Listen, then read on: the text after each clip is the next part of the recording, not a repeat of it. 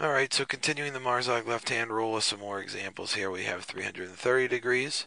So take a look at 330 degrees. This is 270. This is 360, so it falls right in here. This is 360 and this is 330. Uh, you can just tell that's going to be a 30 degree angle there. You subtract it. So 30 degrees, that is your ring finger that you put down. So sine is square root of 1 over 2, which is 1 half. Cosine is the square root of 3 over 2, which is 3 over 2. Tangent is the square root of 1 over the square root of 3, which when you uh, rationalize, you get root 3 over 3, which is not a problem. So all you do is flip them to find the rest. Flip that to get 2, flip that to get 2 root 3 over 3, and flip that to get root 3. Okay, but since we are in quadrant 4, Quadrant 4, only cosine is positive, so that means cosine is positive and secant are positive, but everything else is negative, so tangent's negative. That means cotangent's negative. Sine is negative, that means cosecant is also negative.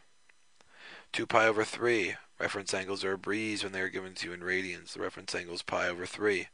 But just in case you don't believe me, you do pi minus 2 pi over 3 to get pi over 3. Remember, reference angle is easy. It's whatever the bottom is, pi over 3. Your pi over 3 finger is your 60 degree finger. That's why I put that down. So it's square root of 3 over 2. Cosine is the square root of 1 over 2.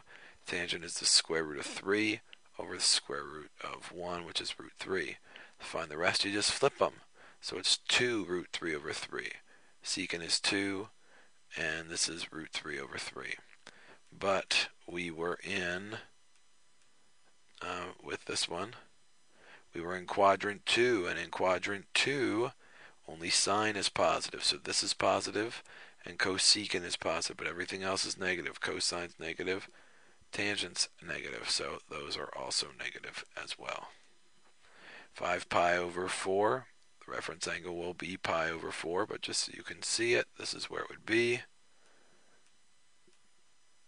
5 pi over 4 minus pi is pi over 4. So that is your middle finger. So your 4 finger or your 45 degree finger. So that's root 2 over 2. Sine would be, or cosine would be root 2 over 2. Tangent would be root 2 divided by root 2, which is 1. And then you just flip them all to get the rest. So cosecant is just root 2 because it would be 2 root 2 over 2, and the 2's cancel. Um, cosine would also be root 2, or secant would also be root 2, and tangent would be 1. So because we were in quad 3, tangent is positive. So if tangent's positive, then cotangent is positive as well. And because of that, since they are um, what's positive, okay, since that's um, what's positive, um, then everything else is negative. So cosine is negative and secant is negative and sine is negative and cosecant is negative. 11 pi over 6. 11 pi over 6, well, the reference angle is going to be pi over 6, but just in case you need me to prove it for you, um, you do 2 pi minus 11 pi over 6, so you get pi over 6, and pi over 6 is your 30 degree finger. So, uh, square root of 1 over 2, square root of 3 over 2, uh, square root of 1 over square root of 3, which is root 3 over 3. Just flip them all. So when you flip them to find cosecant, that's 2. When you flip that, that's 2 root 3 over 3. When you flip this, it's just root 3.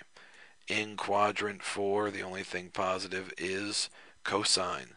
So positive cosine, which means positive secant, but sine is negative and tangent is negative, so that means cosecant and cotangent are both also negative. That's a lot of examples using that rule, and even look up some examples in 6.3 without the Marzock uh, hand rule as well, but you can use all of those tons and tons and tons and tons of examples. Use them no math is required basically to do these problems when you use them. Okay? So if you have any other questions or concerns, please let me know.